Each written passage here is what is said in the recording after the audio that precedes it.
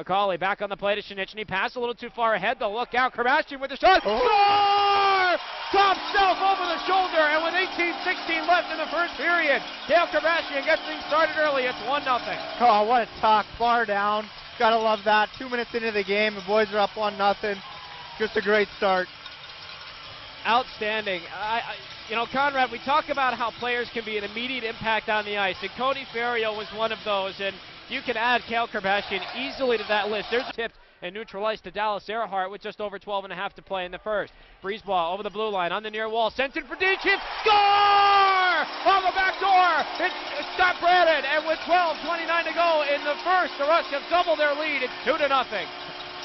Great little play there. You had a couple guys going to the net. I think that pass was actually meant for Daychief, and uh, the guy kind of stepped up onto him, and it comes right to Brano on the back door.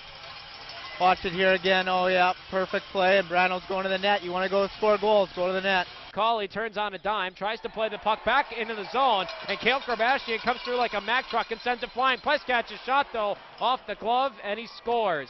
And with 6.18 to play in the first, the Oilers have cut the deficit in half. It's 2 to 1.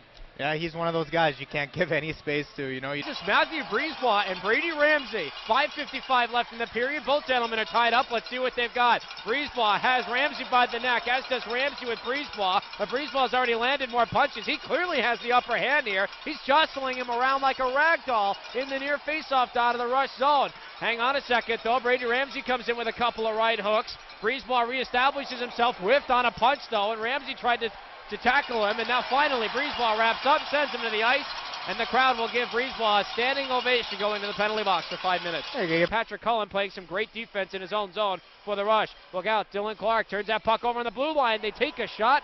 And they score. Eric Talent on a deflection in front, and with 4:38 to play in the period, we're not knotted up, two goals apiece. Sent on ahead for Kerbashian and now for Schultz over the blue line. He tries to rip the puck, but look out, it's a shorthanded break. Matt Lark's got daylight, rips the shot, stopped up high by Bottaccio, but they knock in the rebound and they score. That's Eric Talent giving the Oilers a 3-2 lead on three unanswered goals. 17-16 left in the second.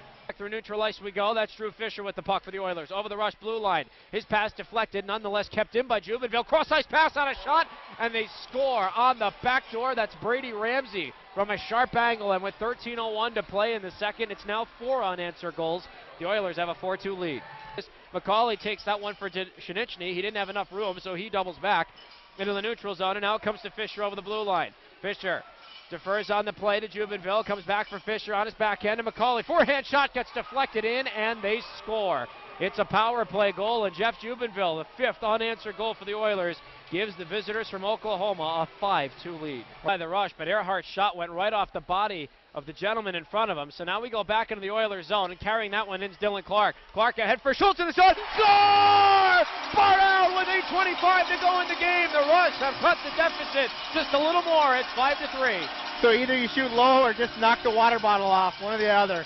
That's unreal shot by Schultz. He, uh, he shows you why he's an elite hockey player. You know, he was been a little bit quiet tonight, and then all of a sudden he gets an opportunity and uh, just buries. What a great shot. He's a great passer, but obviously he knows how to finish too.